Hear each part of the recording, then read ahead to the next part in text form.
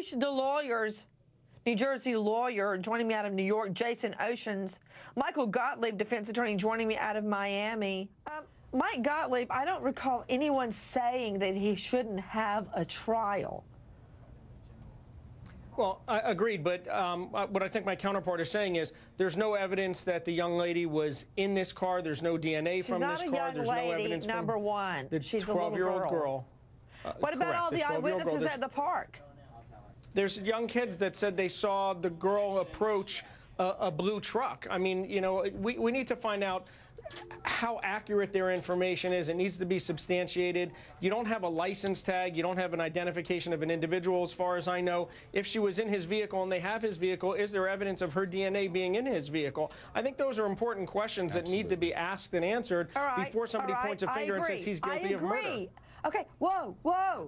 Okay. Well, another interesting thing, Mike Gottlieb, is police, with all the power that they have, they cannot negotiate what prosecutors are going to do. So if that was said to him, prosecutors are not bound by that in any way.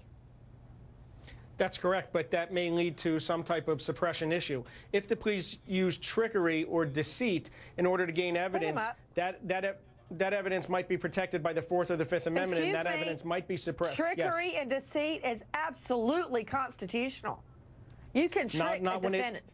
Yes, it is. No, no, no. You cannot trick a defendant as to his constitutional rights. You can trick a defendant. You can use ploys. You can use tactics. That's right. But when you delude a defendant as to his constitutional rights, and you tell him that he's not going to get the death penalty, and you make a quid pro quo, a promise for something, that's in all likelihood going to lead to suppression. That's not correct. Do you believe that he led them to the body? Nancy, No, I don't think so. You know, I don't think so either. I think he gave it up. I think that he gave it up. So he is back at the playground, three tenths of a mile from where Adriana was abducted.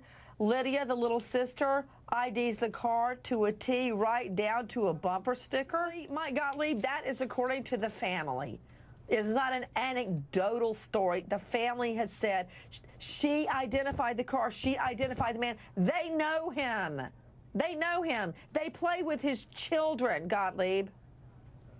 That might be true, but that's a lot of distance to travel. He would have had to have taken her, gotten her in the car, brought her 17 miles out of town, killed her, buried her, brought her, come back into town another 17 miles, all without anybody noticing any of his activity, any of the speeding. Again, there's no evidence in the car. I haven't heard any evidence that, that he was covered in dirt, that his clothes were disheveled, that he was sweating hot, or anything like that. In fact, I think his story might be consistent with going back to the park looking for a missing child. They said he had circled around the park several times. So I do think that there's being a rush to judgment here.